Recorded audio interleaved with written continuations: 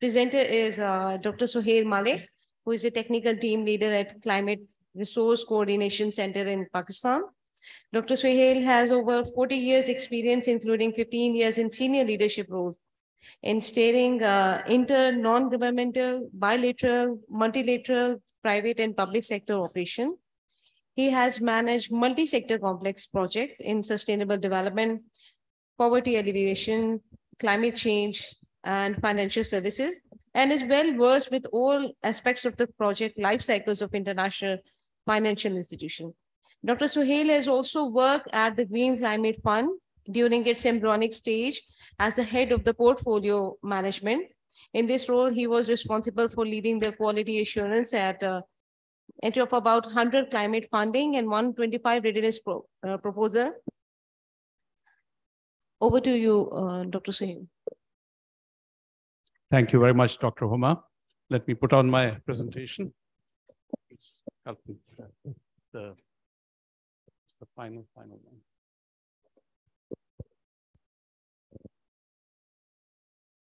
The final, final one?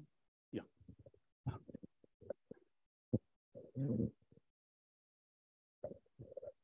So uh, now we are going to double down to the project level and a lot of uh, discussions have started at the project level.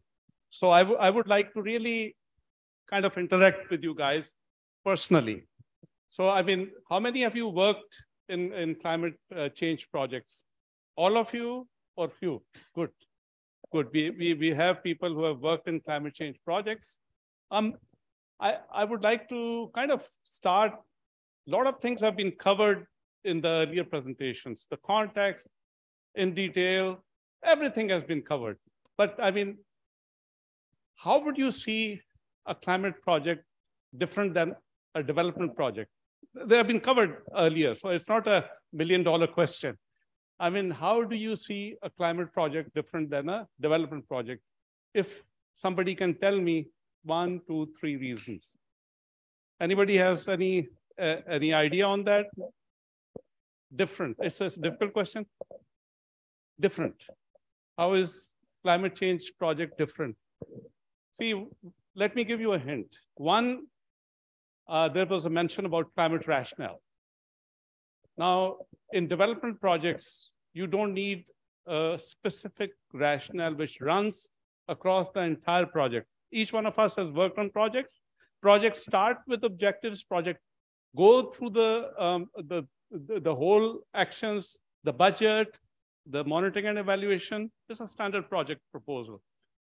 In climate project, the line which runs through from the start to the end is climate rationale. If you don't have a strong climate rationale, it's not a climate project. So, uh, I mean, let's not uh, mix the things. Now, the other thing is that climate um, uh, change or climate projects are seen as separate pockets. No, this myth has to be broken because we have moved a, a lot of journey. We we have moved from. Um, I mean, if you start, we have moved from uh, from environment. Uh, each one of us must have worked in environment one way or the other. Then to sustainable development, and then to climate. So it's a, it's an add up. It's an add on. So now what you see is that the agenda is moving from sustainable development not to a different agenda. It's bringing together all the things together. And I'll show you on the slide that how does it come together? How does the sustainable development climate change agenda merge? And then you will understand that it is not rocket science. I, am not a climate uh, scientist. I'm not a climate specialist. I'm a civil engineer by training. But it, it's all about logic. It's all about flow. It's all about build up. So this is, uh, this is something which we need to understand. Now, you have heard about uh, uh, million ton of carbon dioxide. What does it represent? You have heard about it, that one empty carbon dioxide emission. What is it? I mean, everyone talks about 100, uh, 100 tons of carbon dioxide emission. You know what is it? It's very simple. If you have been to US, you take a car, rent a car, you go from New York to Las, uh, Las Vegas, and you, burn, you, you have emitted one ton of carbon dioxide. Simple. don't have to get into complications, no formulas, nothing. So if you drive a car, rent a car, that car will emit one ton of carbon dioxide from New York to Las, Las Vegas. If you're, I mean, uh, I'm not a bettor, but people do love to go to Las Vegas. I'm just saying that. So, I mean, uh, this is the, just to depict that. So now if I, if I get on with my, because I have to finish my presentation also at the same time, um, I hope I can move this from this distance. I, I cannot. Thank you, sorry. So I've already spent 0.001 million ton of carbon dioxide. So that's it. You see, huh? So I, will be covering the global climate finance architecture. And uh, this is the agenda I'll be covering. I'll be uh, covering that what does the context means? What are there? Then I'll talk about climate rationale, the investment criteria, and you will in the end find out that um, I mean, what is the difference or how do you develop a, a climate change proposal?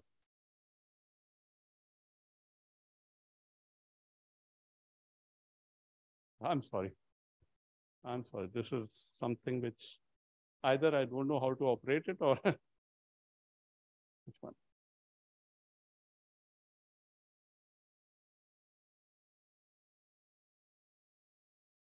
Okay.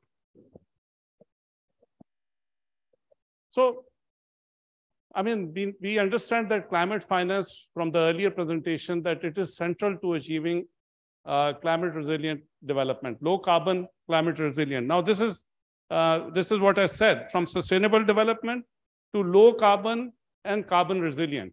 Now, these two words represent adaptation and mitigation.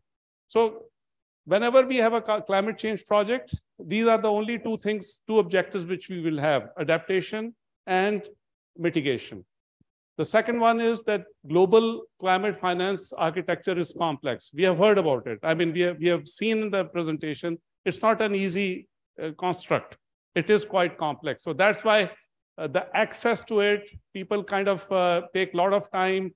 In Egypt, you have uh, just uh, GCF, Green Climate Fund, has a very less kind of a financing here because it takes time to access the finance the fund flow uh, through multilateral and bilateral, as well as through regional and, uh, and national funds. So climate change funds or climate finance funds flows from all those uh, as, uh, uh, as was mentioned earlier in the earlier presentation by Khurram, Dr. Khurram. So there's no agreed definition of what it constitutes, what constitutes a climate finance so if it's not an agreed definition, then it makes monitoring difficult. I mean, monitoring is what you measure and what you report or result, what you report.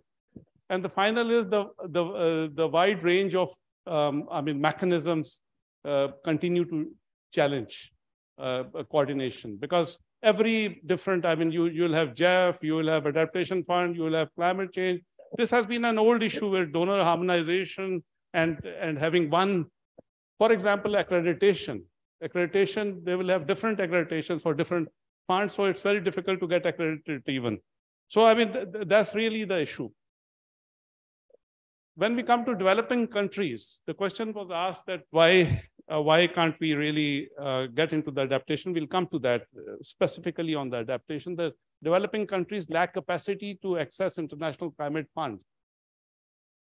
I have mentioned this global shift from development finance to climate finance because it, it, this has taken place. And, you know, our governments in the developing countries, they are complacent. They would like to walk into a multilateral uh, bank and get the money. It's easy money.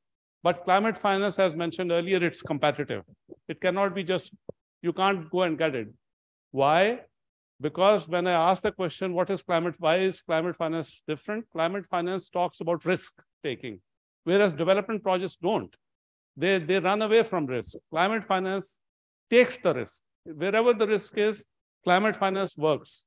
So that's where you really, if you see a risky project, and there was a mention about private sector by, uh, by, by Dr. Manal even that what is the reason the private sector is not uh, kind of uh, getting the same um, leverage as it should, climate finance understands the ambitions are very high.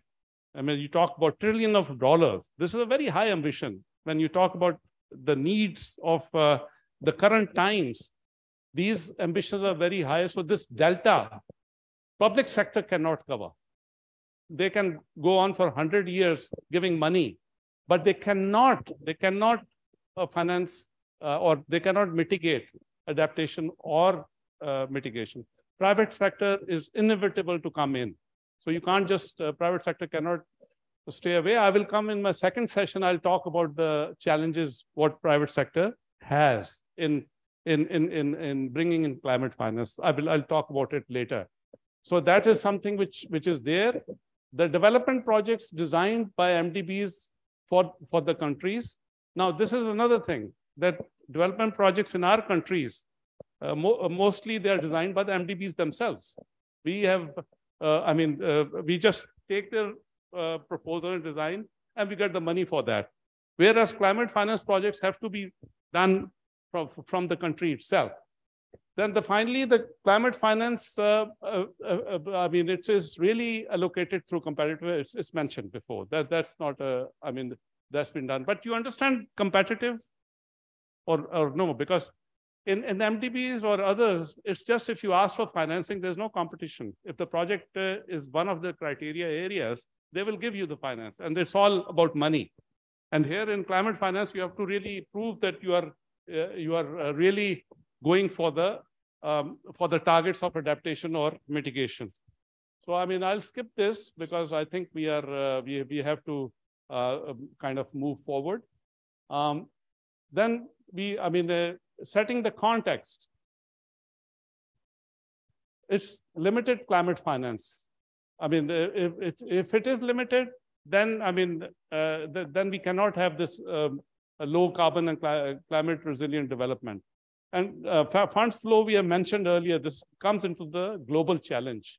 And no agreed definition, it's mentioned, architecture complex, it's mentioned. So that goes there. And then when you look at the local, there is a lower realization of global shift from development.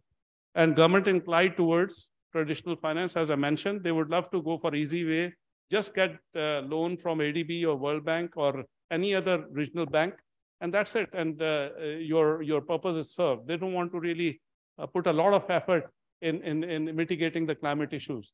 And uh, this we have mentioned already. Now, this is something which I want you to uh, just take a minute to understand when I mention that sustainable development and climate change agenda cannot move separately, there is a reason behind it. If you can understand this cycle, on the right-hand side, it is the sustainable development domain. And each of our countries are working in this domain where you have the human and natural systems and where you have the socio-economic development paths. So we have been doing it for now decades that we have been working on the food, water, health, and we have also been working on the economic growth, technology, population, and all those things.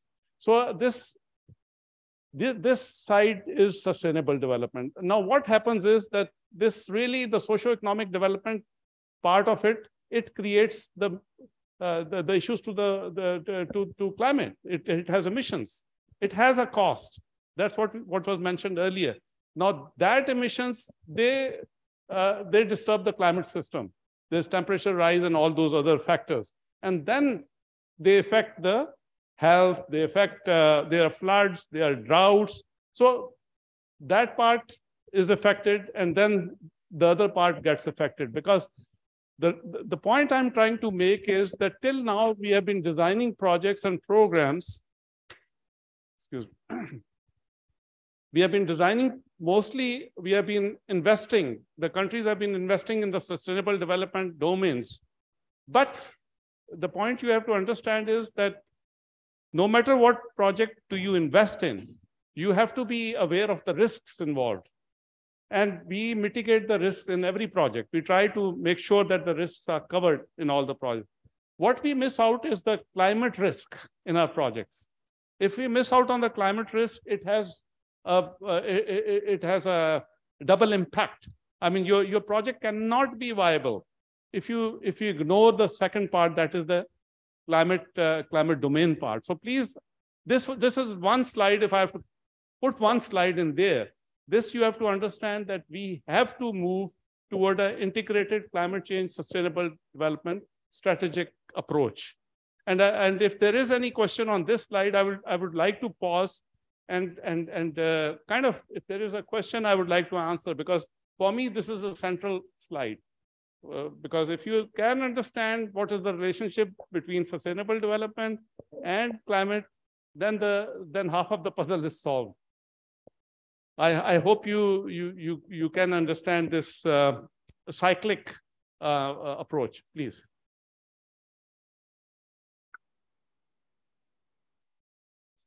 So how many times do you think that uh, a development project can be compatible with the climate domain? Uh, for example, there, there would be many objectives of any development uh, project, and you want to have a com uh, the compatibility with the, the climate domain. Um, maybe there would be some chances of uh, it affecting the development project. Is there any possibility that if you consider the climate domain, uh, to be included in the development project. It, no, that's, that's, that's what I'll be coming to. The issue is that any activity which takes place on the right side in any of those squares, it will automatically have a uh, uh, have an impact on the climate itself. If you are carrying out, let's say, each and every developing country has a right to, to develop, to, to industrialize, to, to, to, uh, to improve their economic development. But in that right, uh, the question will go back to adaptation, what was asked from our Sudanese uh, participant, that no matter your um, uh, emissions are less, but whatever projects you do in the sustainable development domain has this churning effect. You may not like it or you like it. This would have an impact on the climate. So if you, I mean, you may be contributing just a decimal point of it and the others may be contributing more, but your uh, uh, your urge to move up on the industrialization, on, on other, uh, the, the socio-economic development pathways would result or would result into emissions. And that's why this relationship between socio-economic development paths um, uh, quadrant and the GHG emissions is mitigation. If you look at it, the relationship is mitigation. And if you look at the top one where the effects come in through droughts and through flooding, that is adaptation. So automatically you provide a link that this is not coming, the floods and the droughts are not coming just uh, like that. It has been a result of a global activity which has resulted into this, uh, I, I, can say a climate mess or a climate, uh, uh a climate uh, emergency. So we cannot, we cannot separate that adaptation, we do it, mitigation, developed countries do it whatever development, either we say we don't do the socio-economic development. We don't want to do it. If we become like purely organic, natural, everything, then you have the right to say we don't emit anything. We are not following that pathway, the pathway of development. And so we don't want to have mitigation, we want to have adaptation. And uh, to answer your question, even GCF, because I work for GCF, it has the objective of 50-50 adaptation and 50 percent mitigation. So they are not there, but they are moving towards that. So that, I'm sorry, did I answer the question or not? Partially, but to some extent. Okay, good. Any other question on this, uh, the, the other one, I mean, the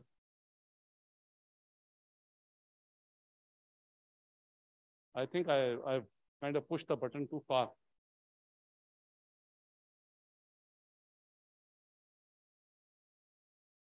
So if we don't have any question on that, uh, the central diagram, which I mentioned, then, then I can move because this is really, it, it sets the context. So if you all kind of understand that there is a integrated uh, uh, kind of an approach, we need to really be very clear why it is required and why it should be followed, please. As you know, the UN uh, definition for the sustainable uh, development has 17 uh, goals. But here we see that there are uh, less than, uh, I think, 10 goals. are they linked with the climate change or uh, you used uh, another uh, definition for the sustainable uh, development goal? Thank you. Uh, uh, this is not sustainable development goals, by the way. And this is not all sectors. I mean, this is just an illustration that if you're working in human and natural system domain, this, these are illustrative. So it may have more sectors in there. And likewise, in socioeconomic development paths, there may be others also. So we are not talking about SDGs. SDGs are goals. Sustainable development is talking about that triangle, the famous triangle where you talk about social, economic, and uh, environment. That triangle where the heart is in sustainable development. So it's not on, on the goals itself. But it will, if you, if you fulfill that, it will contribute to the sustainable development goals. For the energy, uh, for example, for the energy, I think it's uh, supposed to be under the mitigation. For example, the social economic development goal. But there is uh, energy here. Economic growth. And we go down. Okay. There, there is an energy. Okay, thank you. Yeah, please. Any other question or we move on? Thank you. So what we see is that now this is another difference. Now I, I, I point out the difference between a classical development project and climate project. In, in, in, a, in a development project, you start from input, output, action, outcome, impact. And then you say to yourself that if you've done the input, output, we leave to God the outcome and the impact. So we, we take away the responsibility that that's beyond our control. Whereas the climate projects would start from the impact. They would really be focusing on the impact part of it. They will not come from the bottoms up where you have the actions and all that. They will talk about where is the transformational shift. And that's why I put that in the figure. Where is the transformational shift from a socio-economical development pathway, which we all have been following, towards an integrated climate change sustainable development thing. Now, if we come down, if we look at the outcomes, I'm coming down now. You, you, when you do the project, you will come up. But just to give an understanding that in climate projects, we do the, we go from the impact point of view because the ambition is so high that we cannot remain at the activity level. If we remain at the activity level, we may not be able to get even halfway to the ambition what to talk about closer to the ambition. So what you need is climate-driven development anchored in all interventions. Now that was, I think, the earlier point that it it cannot be, it cannot remain separate. It has remained separate till now.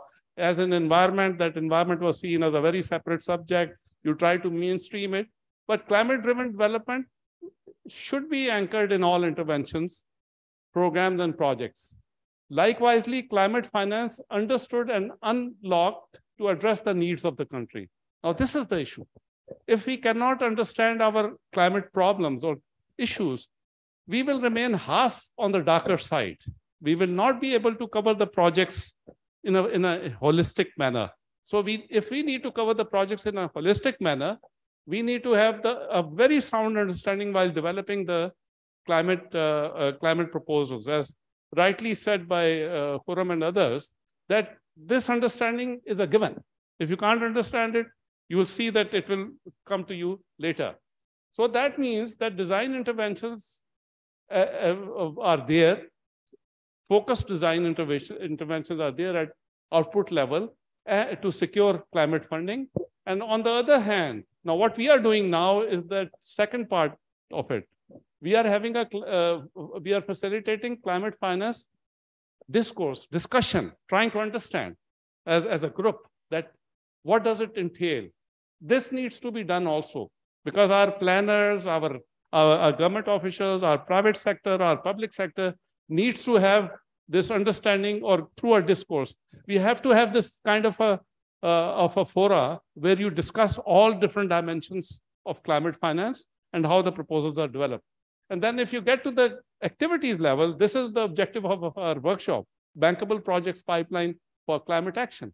So even if we start from the, uh, from the output level, we still get to the impact. But you get a, I hope you get this uh, rationale of uh, this theory of change. This is called theory of change in your uh, in your proposals. If you want to put a theory of change, this is the theory of change. And this is where you have to have the understanding. You have to have design interventions. You have to facilitate capacity, as was mentioned earlier.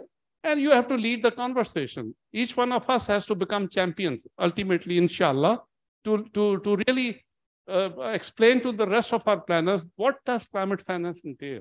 How can we fight the issue?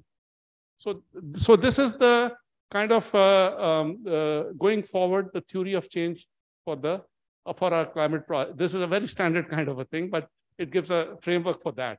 So um, now coming to designing climate change project, you need to have uh, conceptual framing, which you will do it in any project. In, in there, you have to have climate rationale. As I mentioned, this is a must. I mean, I take it if you have watched series, movies, everything, it's like writing a script. Now, rationale, climate rationale is writing a script where a kid can understand that what are you talking about? How is it related to the uh, to the uh, to the disaster? How can it uh, how can it mitigate the disaster or it can adapt to the disaster? So this is what Khurram was saying earlier also. Then you these are the other ones are project uh, normal project things that you have fiduciary obligations. Now this may seem very simple and classical to all projects that you have uh, um, financial structuring, economic and financial modeling. But I tell you one thing, in a development project, you will have financial concerns, internal rate of return. And if you go maximum, you'll go EIRR, economic internal rate of return. In climate projects, they don't care about financial return. If, if it doesn't make a financial case, it doesn't stop there because the risk element has to be covered. For that, you have to have economic sense not uh, all the time the financial sense. So I'm just trying to kind of put it in a perspective that the proposal should be covering the sense of the program. Then you have the legal requirements, which is uh, which is there in all, almost all the things. But compliance is also again something which we need to. These are standard compliance requirements in a climate change proposal, where you have environmental and social assessments, gender assessment, integrity framework. Now you UN has added so many other things. I mean, uh, anti-money laundering and all those kind of things. You have to really bring those all those things into the project proposal. And then, of course, in the end, it's the reporting which matters. now, coming to the adaptation. Now, when you are thinking about a project, I mean, uh, let's say uh, we are thinking about a climate change project. If it's an adaptation project, it should demonstrate its, uh, its ability to adopt to the climate change impacts. If you cannot demonstrate that, I mean, you can, you can say, I have a water harvesting project. I've done a lot in Sudan with Islamic Development Bank. I've done a lot of uh, rain ha harvest uh, uh, projects. But I mean, they stand at a certain level, but they don't go much more in depth that how does it mitigate to the climate change effects. So then you bring the holistic form in the context of promoting sustainable development. Sustainable development is there and paradigm shift by providing evidence-based analysis to show effective adaptive response. In mitigation, the project has to, uh, to show its ability to demonstrate its potential to limit and reduce the emissions in the context of private sector, and these would not have happened without climate funding. You cannot uh, put a proposal saying that uh, this company wants to do this. But if they can do it in normal business, why should it be treated as a climate change? It has to have its additionality. It has to have a, a, a reason why uh, why it is required. And now coming to the climate rationale. Climate rationale is the overarching narrative of the climate change project that it addresses climate change and thus contributes to the climate funding investment criteria. So it, it introduces the word investment criteria. Now, investment criteria will carry all those magic words which a climate proposal should, should cover. So I'm, I'm trying to, this is like a, if you go to a university, it's a 101 course, and I'm trying to cover it in uh, 30 minutes, uh, a course which can be covered in a semester. Uh, I mean, I can be teaching this in, in a full semester one. So what is, uh, I mean, if you look at the climate rational principles, uh, let's not go in too much into the detail, but it, they are really aligned with the Paris Agreement. they are aligned uh, with, uh, with the, I mean, they talk about adaptation planning should ensure stakeholder involvement. Now, each one of us, if you have done development projects, I've done it for 30 years, we use stakeholders uh, participation as a checklist. Done, done, done, done. And in real sense, we have not involved the stakeholders. In a climate project, you cannot do a project without stakeholder. The reason I'm saying is that just if you're doing only public sector projects, and if you're doing a private sector project, private sector project, if you, for example, if you're doing it for a export, for exporters, because tomorrow EU will slap uh, more taxes. Uh, if they are in, in 2024, they are going to have GSP plus, which will slap taxes on any export production, which does not comply with climate change or eco-friendly products. So these things have to be uh, really the stakeholders have to understand. Stakeholders are who? Who are producing, who are the manufacturers, who are doing the leather work, who are doing the garment work. They have to understand that their products will become non-competitive or they, uh, when in 2024, if they don't follow the climate change uh, issues. Uh, I mean, they don't comply with those. I mean, those I cannot go into details because it's a long detail that if you want to comply with climate change things, you, you can't do that. So in the identification, it's important, uh, the issue that how the project relates and seeks to address current and future project projected climate risk. It's very easy said than done because uh, somebody mentioned data. I think you mentioned data. We'll come to that in the challenges in the next session. It is the key challenge. You don't have any data, or not any data, but less data. How has the specific climate change hazard led or will lead to the specific risk impact? Now, this is something which has to be very specific. If you're doing an adaptation project, you have to make sure that you relate it to a certain risk or a certain climate uh, impact which you want to do it. And what would be your response? How the climate project will reduce risk caused by climate change and thus reduce impact. So these are the data uh, just mentioned, alignment with the country priorities, not with the funding priorities. It's your own priorities, NDCs, which you have made the commitments, NAPAs, the, the, the other uh, strategic documents in climate change, you made it. You have to make sure that they are aligned with it. And M&E is definitely, uh, when you come to adaptation uh, or mitigation, in mitigation, it's IMRV, because there you have to verify also that emissions are measured and they are reported. Uh, so this is adaptation. Now coming to mitigation, alignment is the same methodology. You have to quantify the, the, the emissions. And monitoring and reporting, you have to describe how, and, uh, and verify that uh, how did you establish the reductions, the, the emission reductions. I'm sorry, I'm moving a little fast. It became, it can become a little heavy on the technical side. And this is not kind of a presentation I should be making in late afternoon or even, I mean, the, at the end, but uh, that's how we are structured. So uh, I have, uh, now this is very important, the investment criteria. This provides a framework for the climate change proposal. If you can satisfy these five items, uh, sorry, six items, your proposal is developed. You don't need to really get going on anything.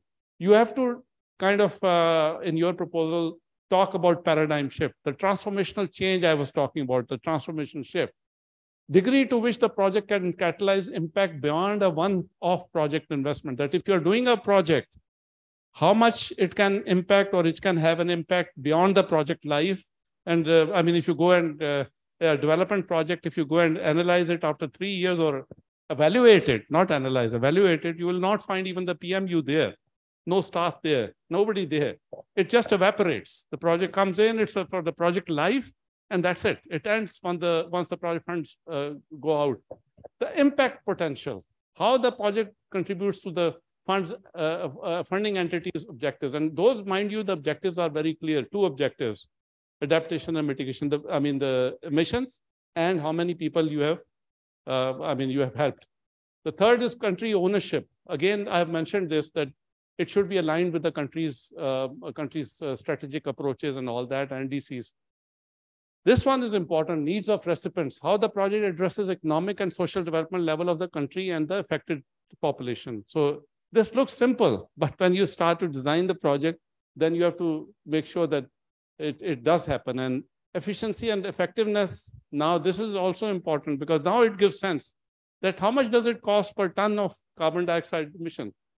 I mean, if you are having a project which is costing $1,000 per ton and the other project is costing 20, there's a hell of a difference. So the efficiency and the effectiveness should be there. Then the sustainable development part is the final one where wider benefits and priorities of the project, what you were talking about, sir, SDG goals. Now this comes in as a part of the investment criteria that the SDG goals need to be linked with. When you, when you drop the program, you cannot have a program without SDG goals. And all climate proposals have to have uh, the scope benefit, they call it, to the SDG goals. So this is where it comes into. Six things are done. So now we move to the key features. Simple, these are all, I, I won't go into details, project description, theory of change, impact potential. I, I can take up each and every one, but it takes more time. But it really, I'll be repeating and I'll be adding more details, more uh, spice to the issue. The dish will become definitely much, much better. But uh, I mean, uh, it's just like that. So I'll quickly, this, these are my last two slides. I'll, I'll just inform you about the uh, process uh, in a climate proposal because people get scared that what is, what is there? What does it entail in a in a concept uh, development and how does the project gets approved. This is a climate change projects development and approval process, standard in most of the uh, uh, climate financing. It's standard that you have to have the first the concept development, uh, concept developed, you then develop the full project. The, the climate fund or facility has an internal review submitted to the board, approved. It's a very simple. I mean, this it looks simple, but if you look at the timeline below, it's not showing. It can take you about nine months to a year minimum to, to go through this process. Now, I mean, if I look at the, uh, the proposal development quickly, that proposal development is you, you, you get the climate context done in the beginning, the baseline. You have the evaluation report, pre-feasibility or feasibility, and then I mentioned stakeholder engagement. This is important, engagement with the stakeholders, and then alignment, the, the refined project components, theory of change, and then environmental and social screening. But these, this is all quickly on the, um, if you talk about the development and approval process. Thank you very much for your patient viewing. And if you have any questions, I'm still here to answer those questions.